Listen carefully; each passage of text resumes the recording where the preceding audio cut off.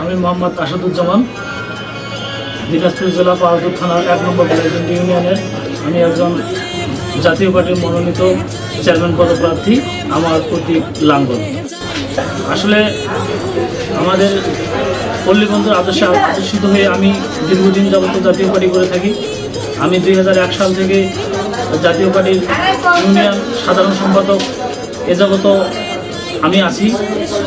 বিভিন্ন সময়ে কাউন্সিলের মাধ্যমে আমাকে নির্বাচিত করেছে এবং বর্তমানে আমি উপজেলা জাতীয় পার্টির সাধারণ সম্পাদক হিসেবেও দায়িত্ব পালন করে আসছি।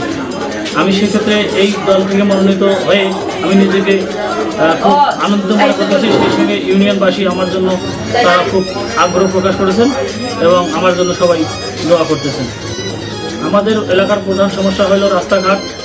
আর আমার ইউনিয়নের এখনও একটা বিশাল ইউনিয়ন। অনেক ইউনিয়ন আমার এখানে প্রায় একত্রিশ একত্রিশ হাজার ভোট, তিরিশ হাজার নয়শো পনেরো ভোট। এত এত সংখ্যক ভোটের মাঝে আমার এই ইউনিয়নে একটা অ্যাম্বুলেন্স নেই। চিকিৎসার ব্যবস্থার জন্য খুবই সমস্যা হয়ে যায় এবং রাস্তাঘাটের এখনও সম্পূর্ণরূপে ঠিক হয়নি। এটা আমার ইউনিয়নের মোটামুটি বড় সমস্যা। আমি ইনশাল্লাহ আমাকে যদি আল্লাহ যদি তৌফিক দেয়, আমি যদি চেয়ারম্যান নির্বাচিত হই, রাস্তাঘাটের প্রতি যত্ন এবং একটি অ্যাম্বুলেন্স আমি ইউনিয়নবাসীর জন্য উপহার দেবো ইনশাল্লাহ আলহামদুলিল্লাহ, আমাদের এলাকার আইন শৃঙ্খলা অবস্থা বর্তমান খুব ভালোই আছে আর কি। মাদকের ব্যবস্থা, মাদক সব জায়গায় সরে গেছে। আমাদের এলাকায় খুব ভালো আছে। তারপর দুই এক টাকার জায়গায় স্পট আমি দেখতে পাচ্ছি। দুই এক জায়গায় এরকম যদি দেখা যায়, তা আমি সেখানে ফটো ভাসতে এবং আইন শৃঙ্খলা বাহিনীর সহায়তায় আমি সেটা দমন করার চেষ্টা করব ইনশাল্লাহ আসলে আমি তো পল্লীবন্ধু হোসেন মোহাম্মদ এরশাদের আদর্শে আদর্শিত।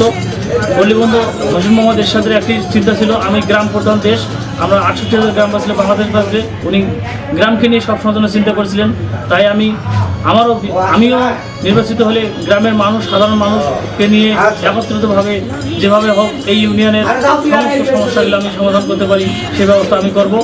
এবং আমার ইউনিয়নে আরও একটি পদক্ষেপ নেব আমি বলতে চাচ্ছি। আমার ইউনিয়নে বেশি নাই, দুই চার, পাঁচটা ভিক্ষুক, কিছু সংখ্যক ভিক্ষুক আছে।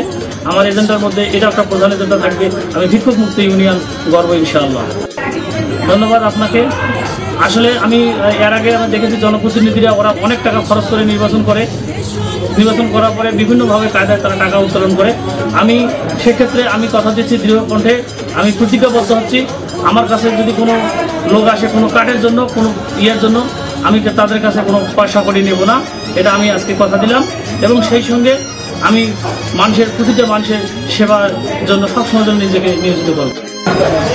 আমার এক নম্বর ইউনিয়ন, বাসী সকলের কাছে আমি দোয়া প্রার্থী। দীর্ঘদিন পর পল্লীবন্ধু হোসেন মোহাম্মদের লাঙ্গল প্রতীক নেমে এসেছি। আমাকে জয়যুক্ত করবেন, এই আশা আমি ব্যক্ত করতেছি এবং আমি আপনাদের পাশে আমার ইউনিয়নের পাশে সবসময় যেন থাকব, এই প্রতিজ্ঞা আমি জ্ঞাপন করতেছি।